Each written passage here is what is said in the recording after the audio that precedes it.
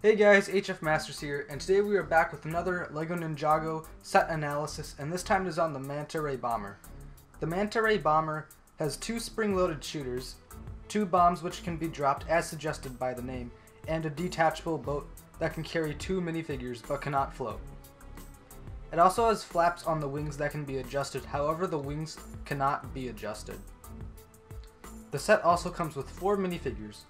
Cole, who has his hammer, Shen Li, who comes with his carrying pole and two buckets, Great White has his fish drill, and Shark Army Gunner has his fish sai.